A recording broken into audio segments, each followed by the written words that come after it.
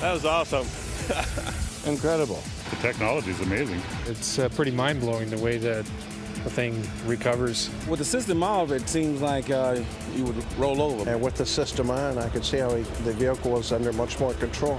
Even if you don't touch the brake, it handles all that for you. You were in control, I guess, at all times. It would save a lot of rollovers. It's well worth buying. I believe that it would be well worth the money. The system's going to save lives.